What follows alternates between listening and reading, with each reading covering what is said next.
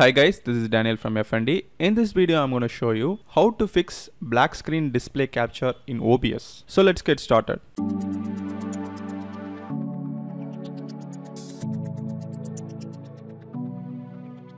First, I'm going to show you that I have the same problem. I'm going to open OBS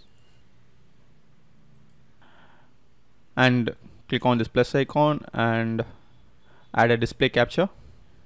Click on OK and OK. You can see that it doesn't capture the display. So let's see how to fix this. In the search, search for graphic settings and click on that make sure choose an app to set preference as desktop app and again the search search for OBS and right click open file location and again right click on the OBS studio shortcut and open file location. And this is the location in which the OBS studio installed. So I'm gonna copy that location control C to copy. Now get back to this graphic settings option and click on this browse icon. Here paste your copied location and enter.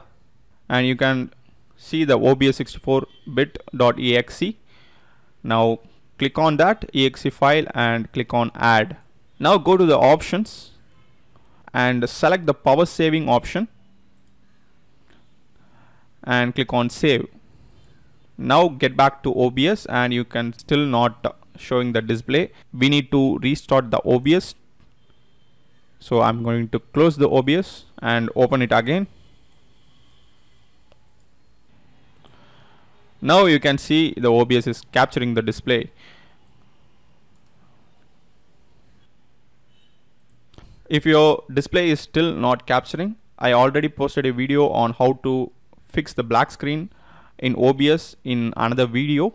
I leave a link in the description and in the card so you can check it out. So that's it guys. I hope this video works. Thanks for watching. If you like this video give thumbs up subscribe this channel for more future tutorials also press the bell icon so that you can get instant notification when I upload a video. Thanks for watching. Bye